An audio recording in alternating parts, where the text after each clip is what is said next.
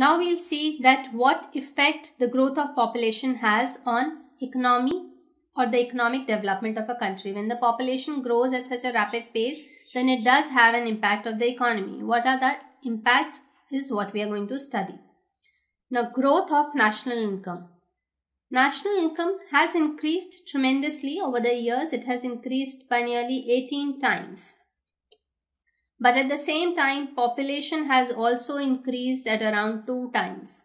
So the impact has not come down that well as was expected. Now suppose if you have a family of 2 people where the income is of 1000 rupees per month. Now the family income multiplies and it grows by 5 times. So it becomes 5000 and the number of people in the family also increases by double. It goes to 4. Earlier, what was the per capita income? It was 500, 1000 divided by 2. And now, when we see that income has increased by 5 times, what is the per capita income? It is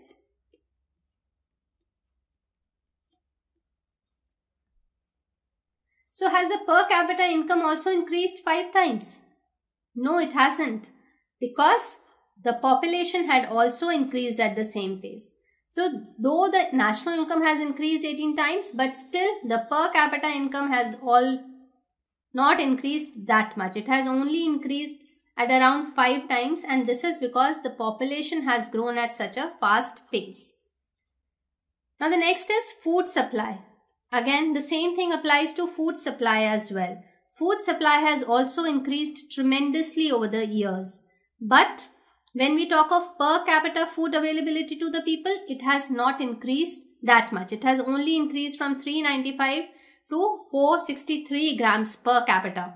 Per person, only this much amount of food availability has increased. Whereas the food uh, production has increased many times.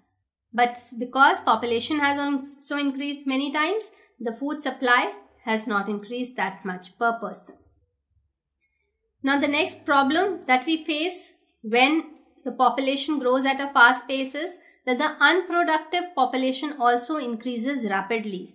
Unproductive population we mean children and senior citizens.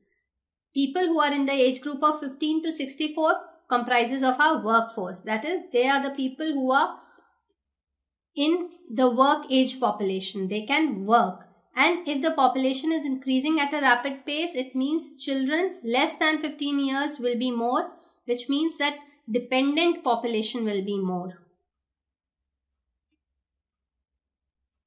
Or unproductive consumers will be more, which means that it will be a burden on the productive community. So that is also not good for a country. But at the moment, we have 63% of population is in this workforce and this is what we should use in a proper manner.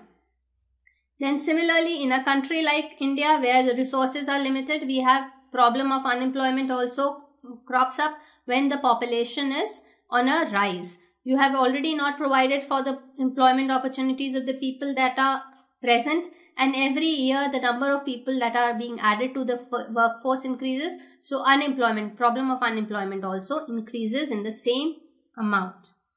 Then capital formation also you need more and more capital because you already have to provide some amount of money to support the addition that is being made in the population. So along with the money that is required for new production you have to provide for already existing population. So capital formation also suffers. You need more and more money. You need more investment for the economy.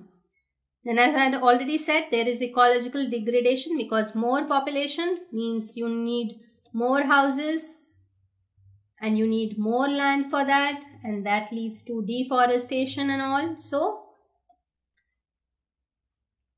ecological degradation also takes place. So, this is the what the uh, growth of population, how it impacts our economic development. The economy may grow, it may, but the, it does not reaches to all the strata evenly because it gets the increase in population, it gets distributed amongst those.